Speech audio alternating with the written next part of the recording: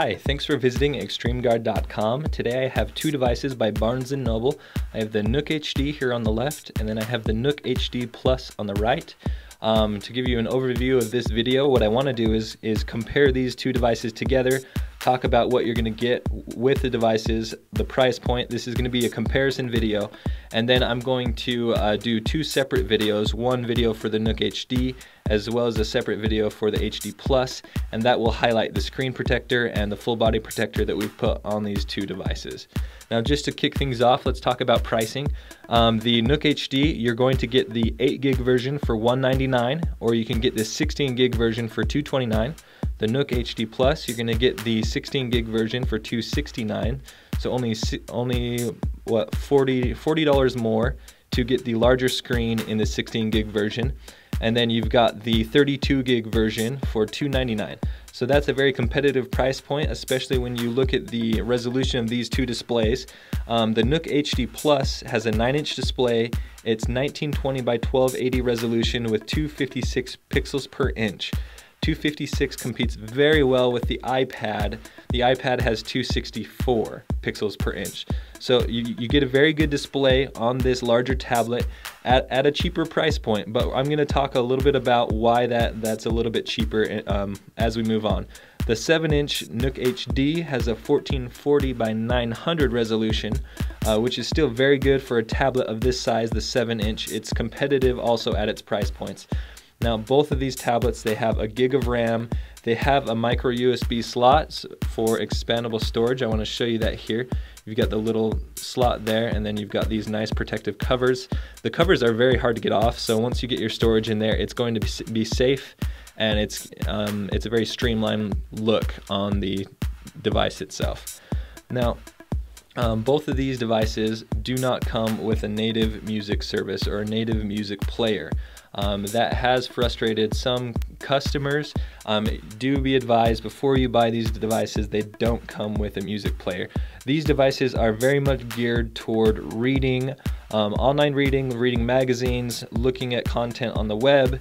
Um, these are these are not necessarily geared towards music, gaming, or other apps. These are very much geared towards Barnes and Noble um, um, content. So um, they, they both run on a modified version of Android Ice Cream Sandwich. It's not open source.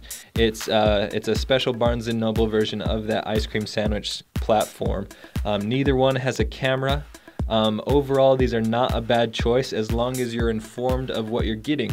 Um, you're getting a tablet that doesn't have a music player. You're getting a tablet with a very good resolution on both of the screens. Um, it's going to be very, very good if you're looking at um, magazines, doing a lot of reading. That's what these are geared towards. Now, one thing I wanted to bring up is a review that someone wrote in. They were talking about the storage space of these Nook tablets. Now, what they said is that if you get the 16 gig version, um, what actually displays on the tablet is 12 gigs allocated to Barnes & Noble content, 1 gig um, allocated for personal content. So be aware that that's how it's going to come. It's going to be um, mostly allocated towards just Barnes & Noble content. You're not going to have a lot of room to, to put on your own photos or, or anything of that sort. You can have it reconfigured at a, at a Barnes & Noble and they can set it up to do 5 gigs of Barnes & Noble content and 8 gigs for personal storage. Um, now that's only adding up on both of those numbers to 13 gigs. I'm, I'm not sure where, the, where those three gigs are disappearing, but, but that was the breakdown um, according to this review. So be aware that, that most of the uh, storage space on both of these tablets is going to be geared towards Barnes & Noble content.